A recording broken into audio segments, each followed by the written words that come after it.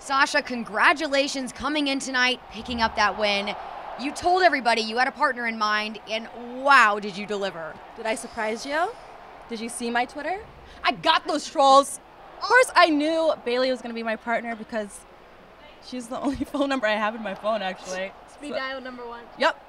Oh. Bayley number one, Funaki number two. Oh. Oh, sorry. Just kidding. But yeah, thanks for being my partner. You're welcome. I have Shinsuke as number one on mine. Love you. Uh, Anyway, Well, Bayley, what was your reaction when Sasha approached you and asked you to be her partner? well, I wasn't waiting by my phone or anything, hoping she would call, but I was. So when she called, I said yes, and it was a huge honor to make this a special night. You know, I have no words. It was it was it was magical, but it was a one-time thing for tonight.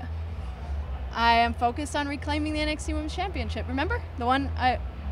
Anyways, you never know what's gonna happen in WWE, so we'll see. I we will see. Because We'll you see. do never know what's going to happen. tag champs. Ooh. The boss and her connection.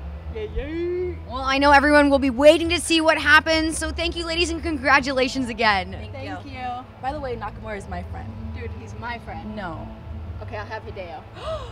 Uh, Danilo the ref. That's my friend. He's my friend. No,